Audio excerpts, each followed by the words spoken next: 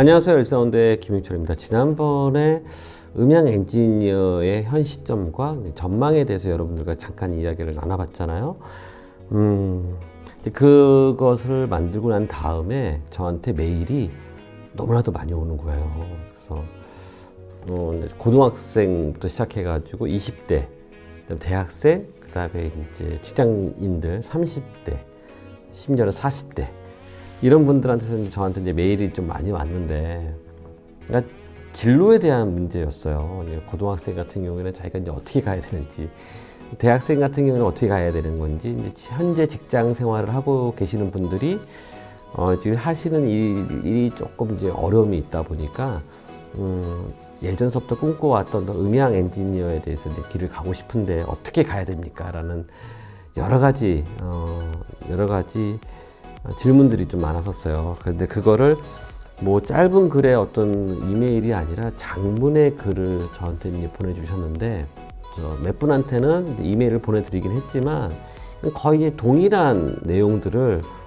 어, 많이 보내주셔가지고 제가 어떻게 이걸 해야 되는 건가. 그래서 최근 들어서는 이거 제가 이제 이메일을 못 보내드렸어요. 그러다 보니까 제 스스로도 아, 이 문제에 대해서는 조금 여러분들과 더 이야기를 해볼 필요가 있지 않겠나라는 생각이 들어가지고 이렇게 이제 오늘 강의를 좀 만들어 보도록 하겠습니다. 어, 20대, 그다음에 이제 고등학생들 20대, 30대 이렇게 이제 나눠서 한번 여러분들과 이야기를 해볼 텐데요. 자, 시작하기 전에 구독과 좋아요는 잊지 말아 주시고요. 잠깐 후에 다시 시작하도록 하겠습니다.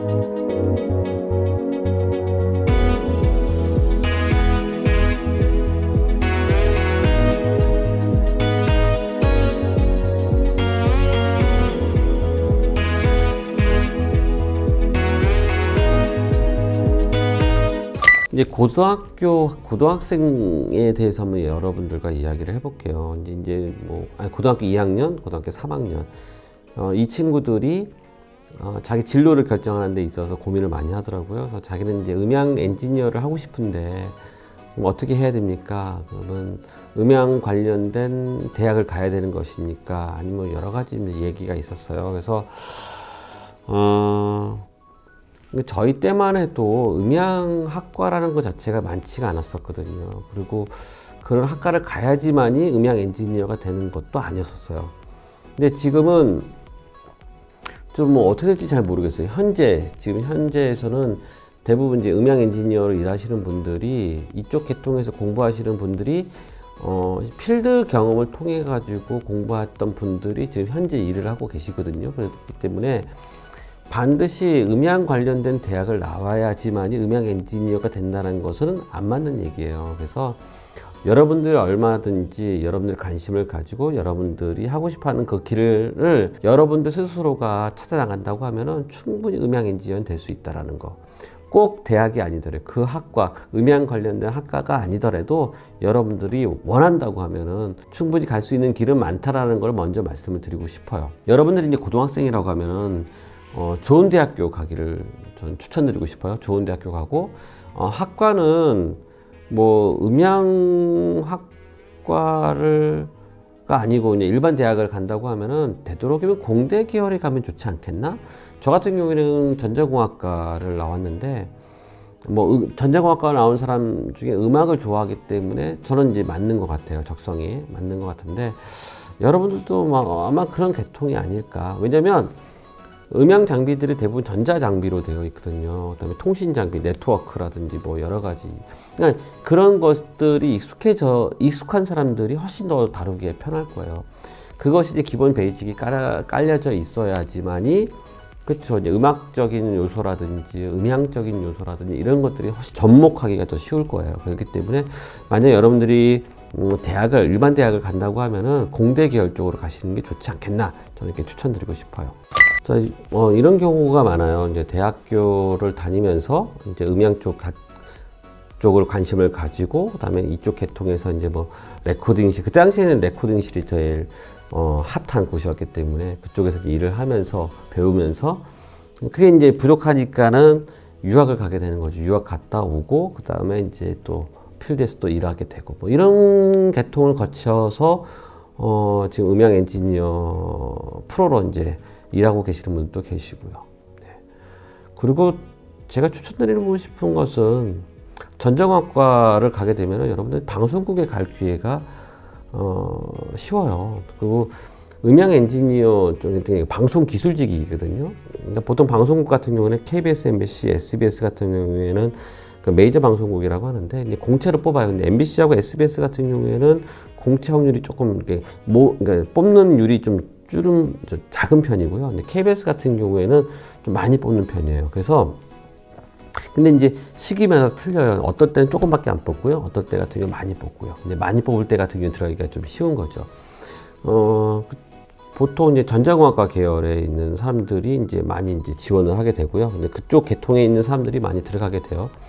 그리고 시험 보는 것들이 한 2년 정도 공부를 하면은 충분히 갈 수 있을 거예요. 그래서 그렇게 관문이 그러니까 PD라든지 아나운서라든지 기자 이쪽에 비해서는 훨씬 더 수월해요. 특히 이제 방송 기술, 기술 하고 카메라 쪽 같은 경우에. 그래서 여러분들이 관심을 가지고 공부를 하면은 어, 너무 좋을 것 같아요. 방송국 들어가면은. 뭐 그런 방법도 있으니까 생각해 볼 필요가 있죠.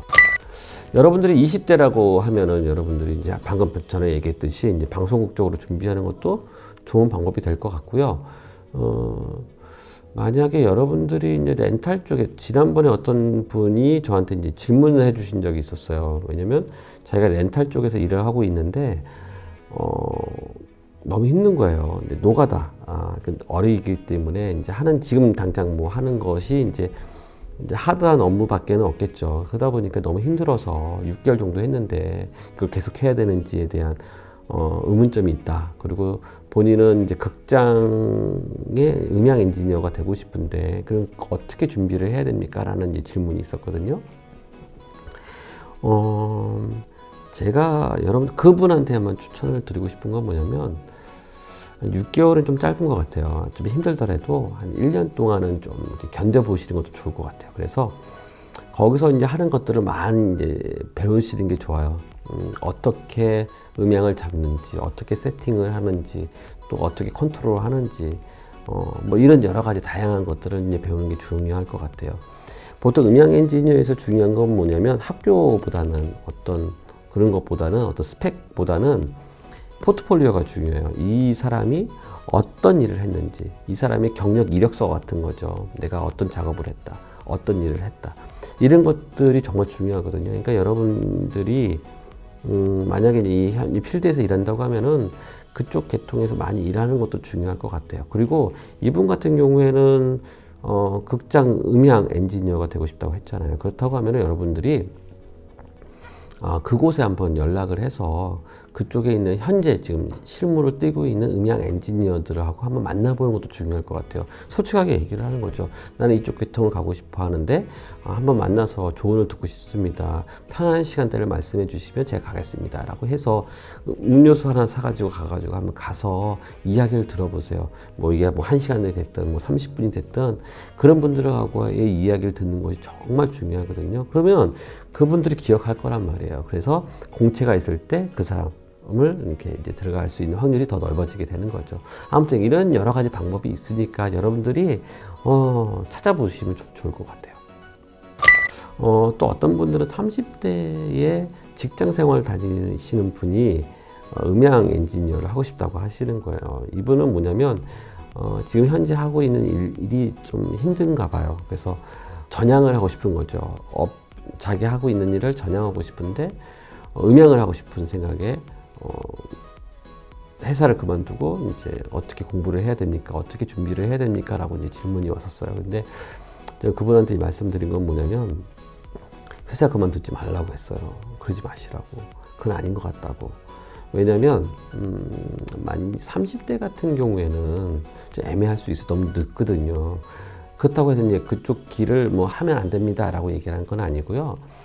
30대 같은 경우에는 왜냐면 현재 어, 음향 엔지니어의 대부분들이 어떤 회사 소속 안에 있는 음향 엔지니어들은 40대만 넘어가면은 좀 어려워요. 솔직히 말씀을 드리면. 그래서 이제 뭐 보통 회사의 뭐 실장, 뭐 어떤 이사, 뭐 이런 급들, 고문 이런 분들이 그 회사의 가장 탑에 있는 엔지니어일 거예요. 이제 이런 엔지니어들도 조차도 45세 넘어가면은 있기가 어렵거든요. 그러면 그분들이 뭐 하냐면 어, 회사를 그만두고 나와서 어, 개인 사업을 해요. 많이 대부분들이 그래서 마음 맞는 사람들이 이제 모여가지고 어떤 회사를 만들어가지고 예, 이렇게 창업을 하게 되는 건데 음, 결국 여러분이 30대에 뭐 열심히 배운다고 해도 40대가 될 거고 40대가 돼서 그제서야 어디 취업을 해서 한다는 것 자체가 쉽지가 않거든요. 그렇기 때문에 저의 생각에는 만약 뜻이 있다고 하면은 회사 다니면서 관심을 가지세요.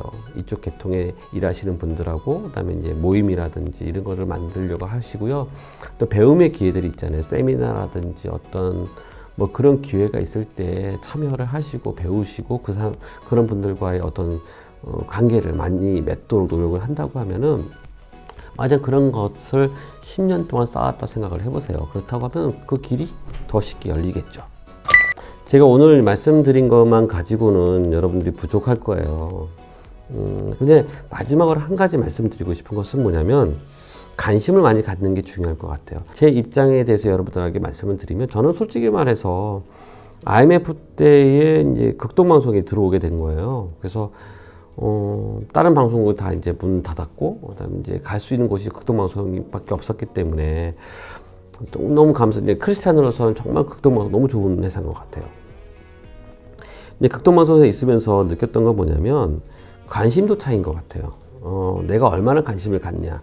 어, 어, 음, 저도 이제 방송국에 있다 보면은 뭐 RF라든지 오디오라든지 조명이라든지 촬영이라든지 다양한 영역에 대해서 관심을 가질 수밖에 없거든요. 일을 할 수밖에 없거든요. 근데 그 중에서도 제가 제일 관심 있어 하는 영역이 분명히 있단 말이죠. 그것이 저한테는 음향이었던 거였고.